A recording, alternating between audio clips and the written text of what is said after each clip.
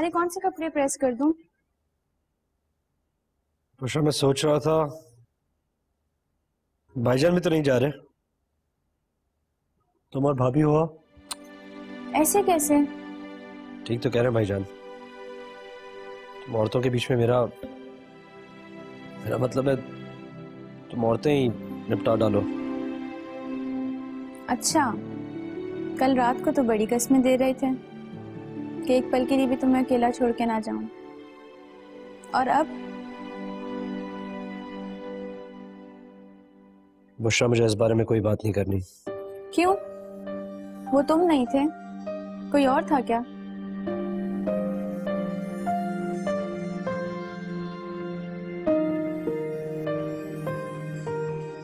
असलम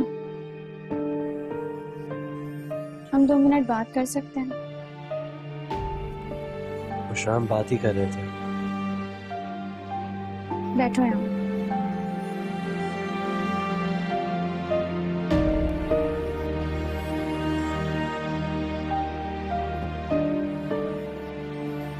जो बात तुम्हें समझ नहीं आती ना असलम वो मुझे समझ आती है।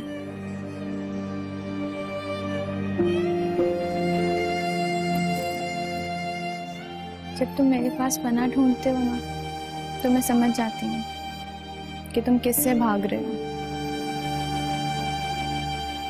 जब तुम मुझसे मोहब्बत जताते हो या कभी ना छोड़ के जाने के वादे करते हो तो मैं जान जाती हूँ कि असल में तुम ये खुद को याद दिला रहे हो कि तुम मुझसे बंधे हुए हो।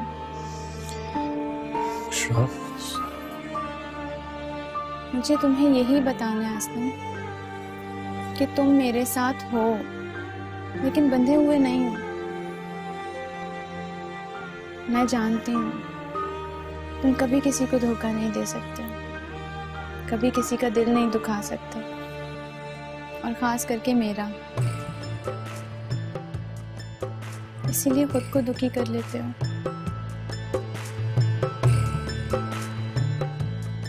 खुद को दुखी मत करो, असलम। तुम्हें इजाज़त है। कैसी इजाज़त?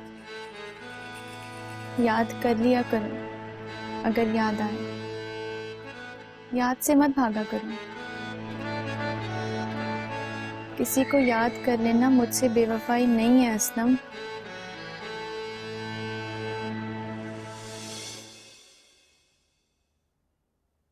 खुद पर इतने पहरे मत लगाओ।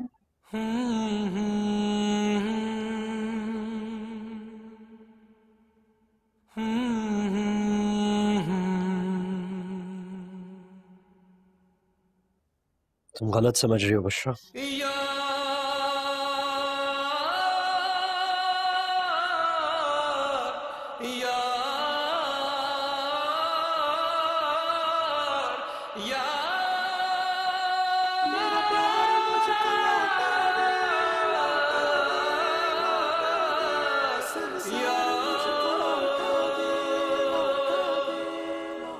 दिल के दरवाजे पे फिर से तेरी दस्तक मांगू।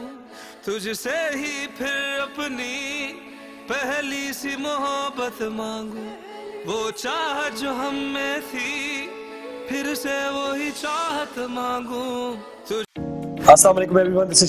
सिद्दीकी और इस वक्त आप मुझे ARY डिजिटल के पोर्टल पे देख रहे हैं। Subscribe to the YouTube channel A R Y digital